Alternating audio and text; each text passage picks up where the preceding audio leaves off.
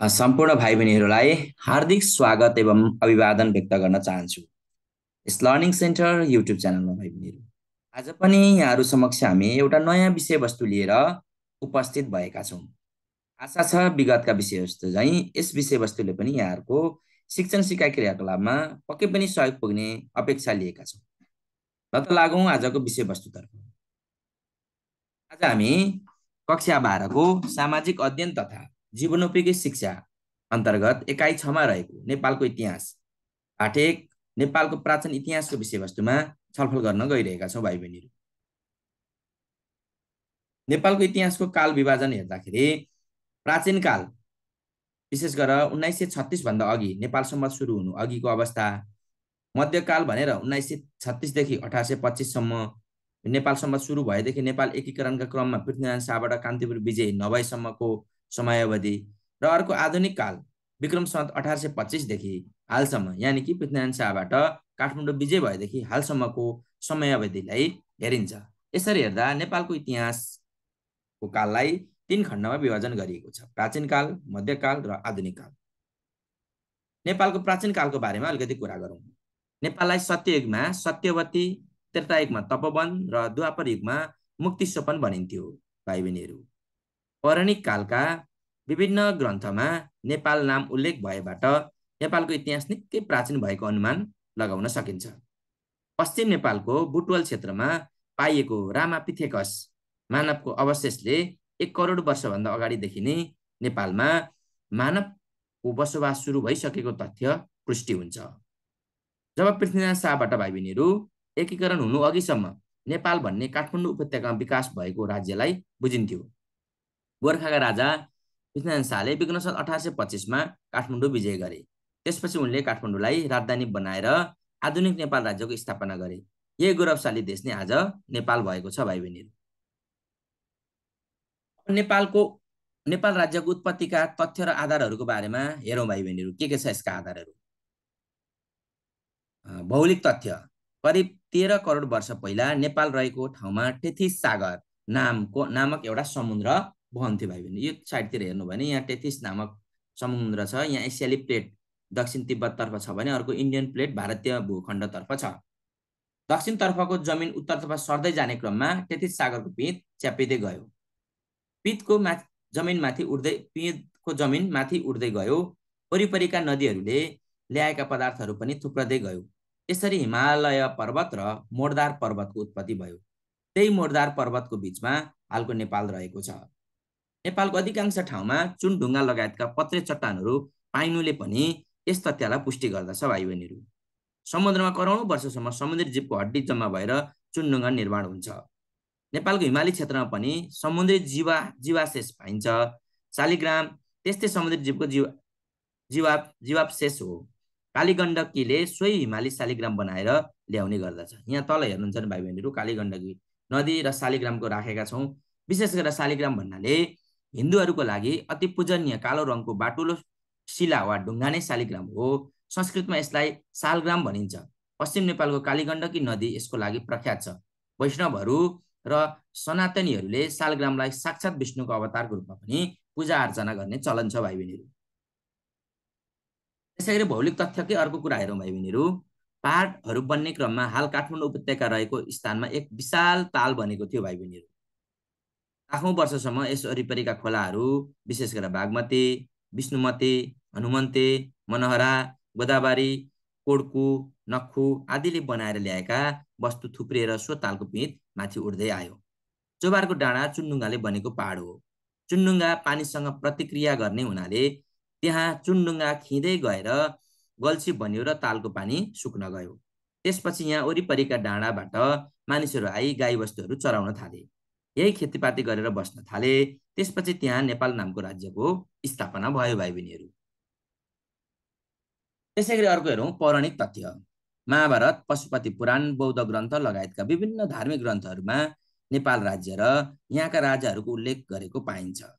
नेपाल नामको पहिलो उल्लेख पाँच सयदेखि छ सय इसा पूर्वमा रचना गरिएको अथवा परिशिष्टमा पनि गरिएको देखिन्छ। यी तथ्यबाट पौराणिक कालदेखि नै नेपालको अस्तित्व थियो भन्न सकिन्छ। त्यसपाला मध्य क्षेत्रमा मध्य क्षेत्रमा नेपाल पूर्वमा मिथिला राज्य पश्चिममा शाक्य वंशीय राज्य रहेको पाइन्छ भाइ बहिनीहरू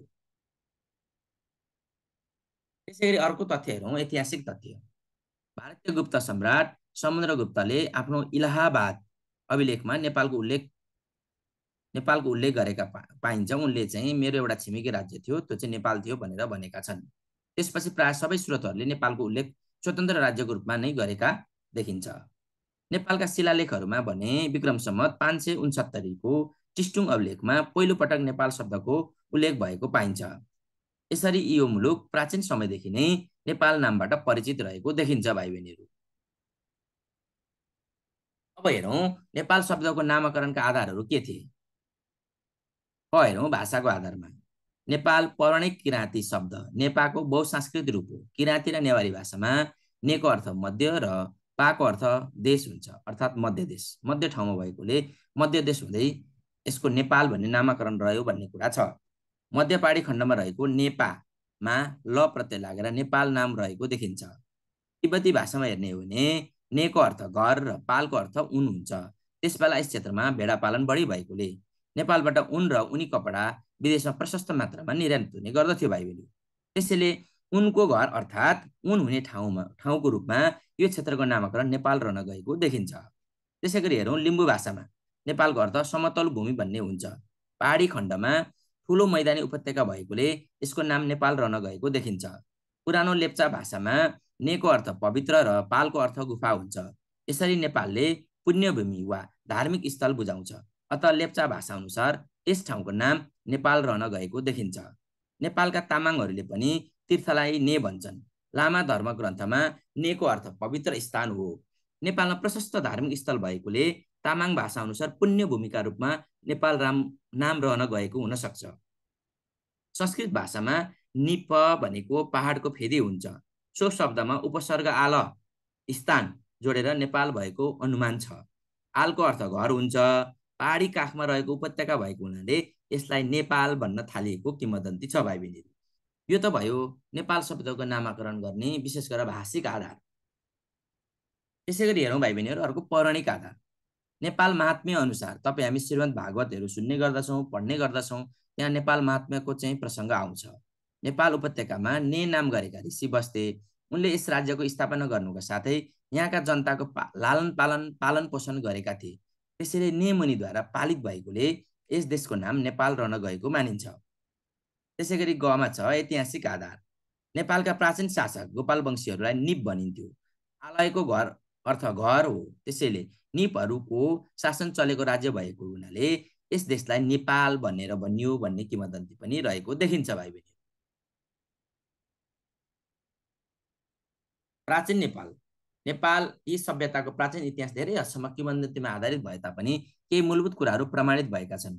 किराँतकाल पूर्वका ठोस ऐतिहासिक सामग्री प्राप्त हुन भने सकेको छैन। प्राचीन इतिहासको मुख्य मुख्य स्रोतहरू निम्न छन्।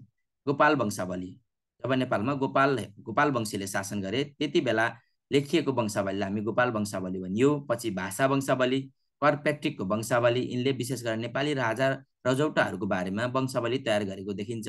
अर्को राइट वंशावली यी पनि विदेशी थिए तर नेपाली नेपालका राजाहरूको बारेमा नेपालको इतिहासको बारेमा यिनले पनि आफ्नो वंशावली तयार पारेको देखिन्छ। हिन्दू तथा बौद्ध धार्मिक ग्रन्थहरूमा पनि नेपाल भन्ने शब्दको बारेमा र नेपालको ऐतिहासिक विकासक्रमको बारेमा उल्लेख गरिएको देखिन्छ। त्यसै गरी लिच्छवीकालीन अभिलेख र मूर्तिहरू कौटिल्यको अर्थशास्त्र जसमा चाहिँ विशेष गरी नेपालमा भएका चाहिँ विभिन्न मुद्राहरूको बारेमा चर्चा परिचर्चा गरेको देखिन्छ। त्यसै गरी चिनिया यात्री हु एन साङ को यात्रा उनले चाहिँ नेपाल यात्रा गरे पश्चात एउटा यात्रा स्मरण भन्ने पुस्तक प्रकाशन गरेका थिए। त्यसमा पनि नेपालको बारेमा उल्लेख गरेको देखिन्छ। इस्वी सम्मतको थालनीसँगै लिच्छवीकाल सुरु भए पनि प्रमाणहरूका आधारमा इस्वीको पाँचौँ शताब्दीदेखि मात्र प्राचीन नेपालको इतिहास बढी विश्वासिलो बनेको पाइन्छ। त्यसै गरी हेरौँ अब भाइ बहिनीहरू गोपाल वंश। नेपालका प्रथम राजाहरू गोपाल वंशी थिए। गोपाल भन्नाले गाई पालक समुदायलाई भन्ने बुझिन्छ। काठमाडौँ उपत्यकाको पानी बाहिर निस्केपछि यो ठाउँ प्रशस्त मलिलो र वनस्पतिले भरिपूर्ण हुन पुग्यो। त्यसैले वरिपरिका डाँडामा बसोबास गर्ने प्राचीन नाग जातिहरू उपत्यकामा आई बसोबास गर्न थाले। यहाँको उर्वर घाँसे भूमि देखेर दक्षिणतर्फका निप जातिका गोपालहरू यहाँ आकर्षित भए। दक्षिणबाट आएका निपहरू गोपाल र यहाँका प्राचीन नाग जाति बीच भिडन्त भयो भाइ बहिनीहरू नाग जातिहरू पराजित भई दक्षिण भेगतर्फ लागे भने नेपाल उपत्यकामा गोपालहरूको वर्चस्व कायम नै रह्यो। टेकु दोभानमा तपस्या गरी बस्ने नेम नाम गरेका ऋषिले गोपाल वंशका भुक्तमान जसलाई भूमि गुप्त पनि भनिन्छ लाई राजा बनाए। यिनी गोपाल वंशका संस्थापक तथा नेपालका प्रथम राजा हुन्। गोपा वंशावली अनुसार गोपाल वंशी आठजना शासकहरूले करिब पाँच सय पाँच वर्ष नेपालको शासन गरेको अनुमान छ। जसमा गोपाल वंशी शासकहरूमा भुक्तमान अथवा भूमिगुप्त जयगुप्त धर्मगुप्त हर्षगुप्त भीमगुप्त मणिगुप्त विष्णुगुप्त र जिनगुप्तले शासन गरेको देखिन्छ भाइ बहिनीहरू त्यसै गरी महिषपाल वंश अथवा यसैलाई हामी आविर वा आहिर वंश पनि भनेर भन्ने गर्दछौँ भाइ बहिनीहरू गोपाल वंशावलीमा उल्लेख भए अनुसार गोपाल वंशका जिन गुप्तलाई युद्धमा पराजित गरी महिषपालहरूले नेपालको शासनमा नियन्त्रण कायम गरेका थिए। गाई पाल्नेलाई गोपाल भने चाहिँ भैँसी पाल्नेलाई महिषपाल वा आविर भनिन्थ्यो। उनीहरू सिमोनगढ र जनकपुर बिचको समतल भूमिमा आफूसँग हात हतियार समेत राखी ठुलो सङ्ख्यामा भैँसी पाल्ने गरेका थिए। यस वंशका प्रथम राजा बरसिंह भाषा वंशावली अनुसार यस वंशका तीन शासकहरू भरसिंह जयसिंह र भुवन सिंहले करिब एक सय एकसाठी वर्ष नेपालमा शासन गरेको देखिन्छ भाइ बहिनीहरू त्यसै गरी हेरौँ किराँत वंश। किराँत राजाहरूको मूल स्थान तामाकोशी र सुनकोशी बिचको भूभाग भनी बताइएको छ।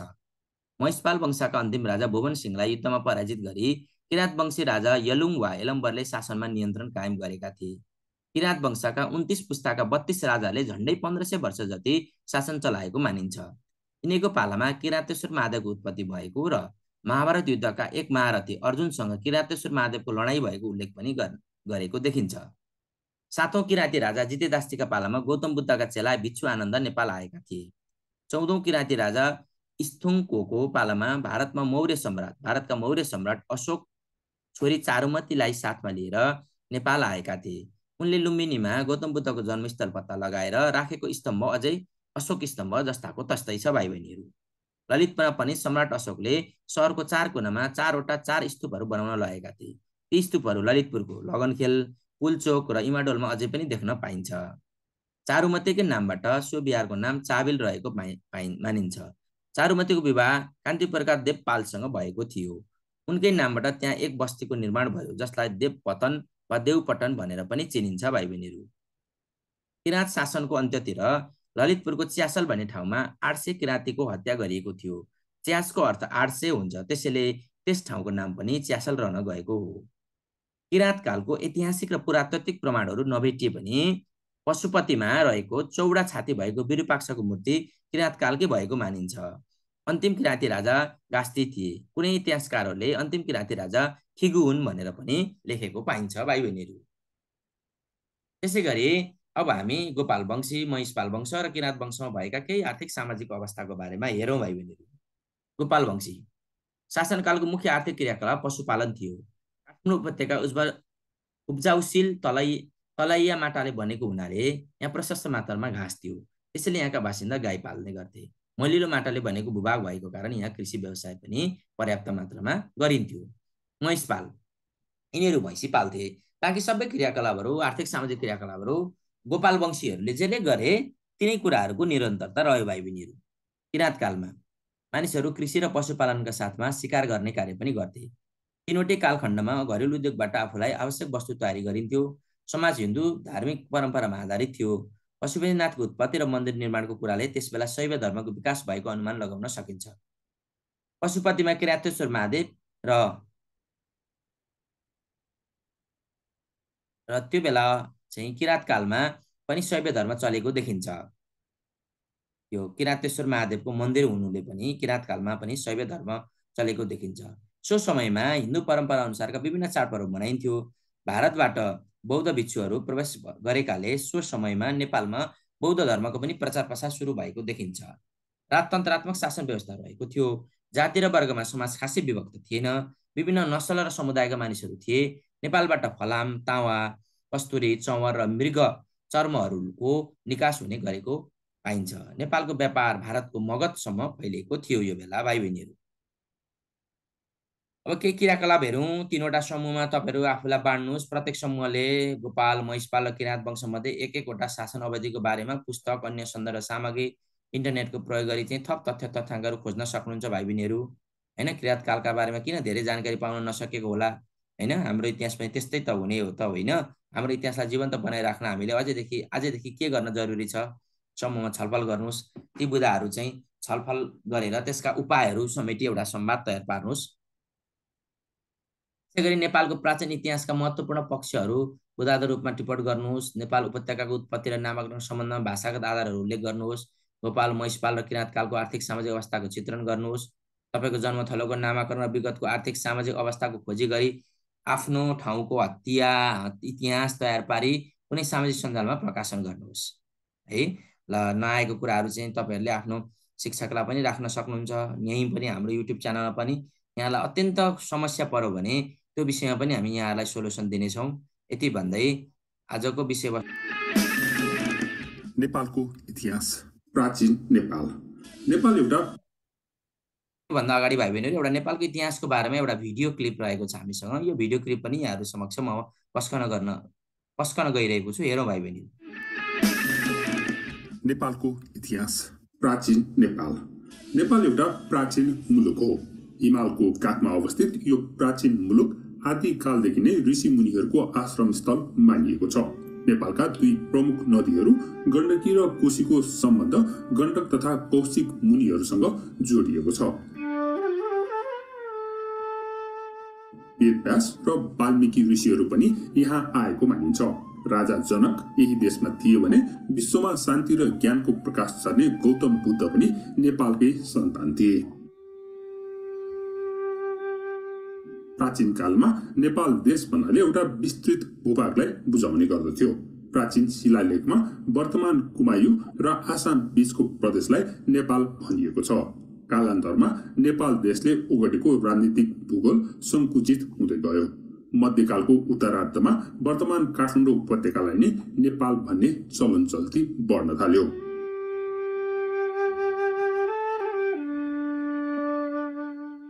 नेपाल उपत्यकाको उत्पत्ति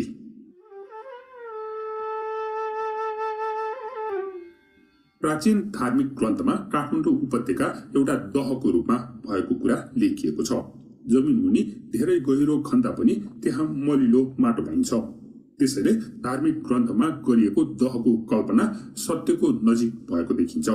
बौद्ध धार्मिक ग्रन्थमा मनुश्रीले दहको पानी बाहिर निस्कने व्यवस्था मिलाए भनिएको छ भने हिन्दू धार्मिक ग्रन्थमा यसको श्रेय श्री कृष्णलाई दिइएको छ। तर वास्तविक रूपमा हेर्ने हो भने यो दह चारैतिरबाट घेरिएको पहाडबाट बगाएर ल्याएको मलिलो माटोले पुरिँदै गएको हुनुपर्दछ। दह पुरिँदै गएपछि पानी चोबारको डाँडोको गल्छीबाट बगेर गयो। मलिलो माटोले बनेको काठमाडौँ उपत्यका मानव बसोबास गर्न योग्य उपत्यका बन्न पुग्यो।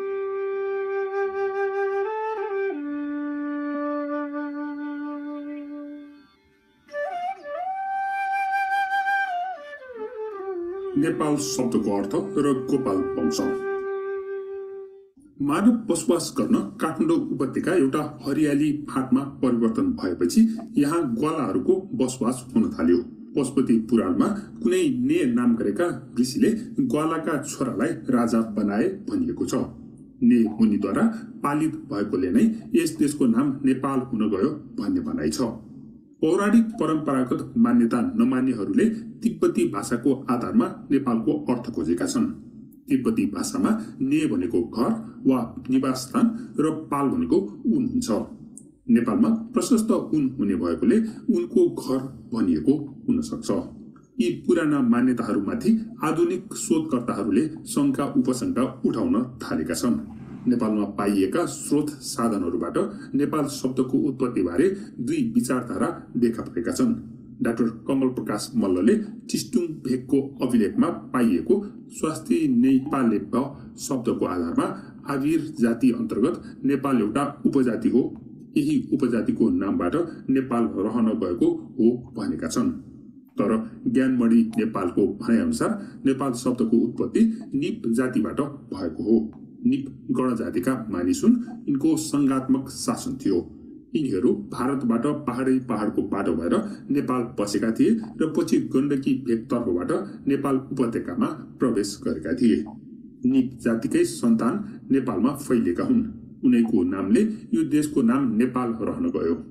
निपहरूले आबाद गरेको अथवा निप बसोबास गरेको देश नेपाल भनिन थाल्यो। निपबाट नेप र नेपबाट आल जोडिँदा नेपाल बन्न पुगेको हो।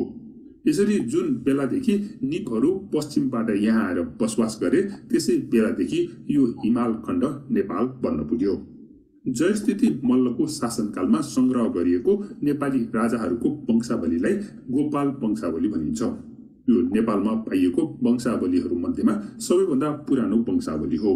यो वंशावलीमा पनि नेपालमा सबैभन्दा पहिले राजतन्त्र स्थापना गर्ने नेप जातिको गोपाल वंश भनिएको छ।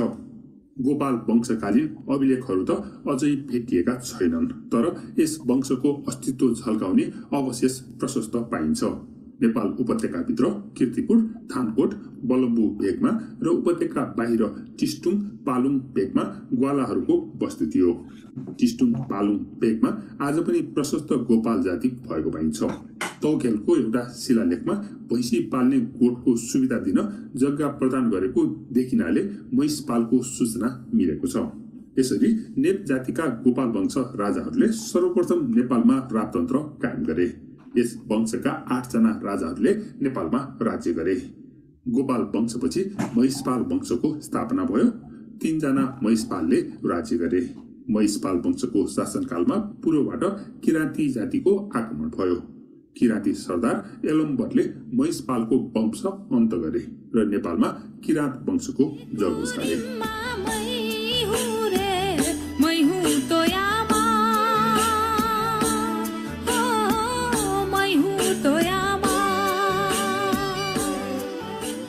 किराँतीहरू मङ्गोल जातिका थिए।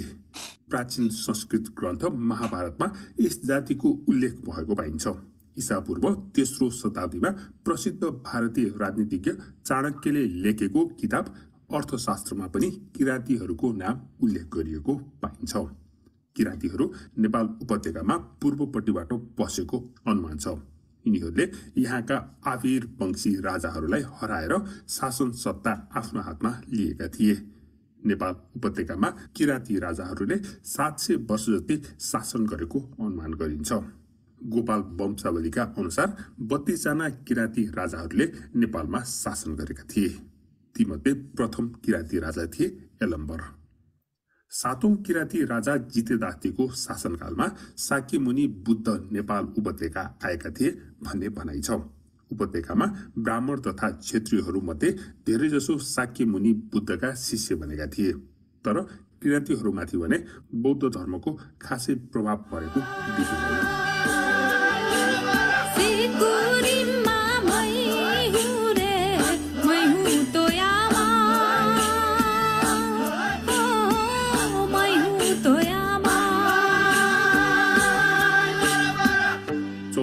किराँती राजा स्तुङको समयमा भारतका सम्राट अशोक बुद्धको जन्मस्थल लुम्बिनीमा आएको मानिन्छ। ईसापूर्व दुई सय पचासमा सम्राट अशोकले मनुष्य जाति रहेसम्म भगवान बुद्ध जन्मेको ठाउँको सम्झना रहिरहोस् भनेर सो ठाउँको वरिपरि ढुङ्गाको पर्खाल घेर्न लगाएका थिए। त्यही ढुङ्गाको ठुलो स्तम्भ पनि उनले खडा गर्न लगाएका थिए। अशोकले आफ्नो साथमा छोरी चारुमतीलाई पनि लिएर आएका थिए भनिन्छ। त्यो बेलामा अशोकले छोरी चारुमतीको विवाह नेपालका क्षेत्रीय कुमार देवपालसँग गराइदिएका थिए। चारुमतीले आफ्नो पतिको नाममा देवपाटन सहर बसालेको पनि किम्बदन्ती छ सोही देवपाटन सहरको नजिकै एउटा बौद्ध विहार बनाउन लगाई उनी भिक्षुणी भएर राजा मानदेवको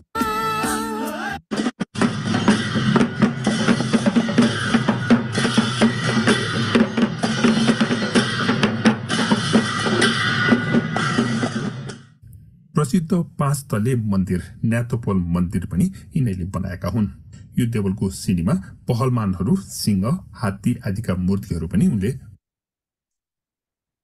हस्त भाइ बहिनीहरू आज हामीले यहाँहरू समक्ष विशेष गरेर नेपालको प्राचीन इतिहासको बारेमा कुरा गऱ्यौँ र चारवटा वंशहरू विशेष गरेर गोपाल वंशी महिषपाल वंशी र किराँत वंशीहरूले नेपालमा कसरी शासन गरे भन्ने कुराहरू हामीले अध्ययन गऱ्यौँ।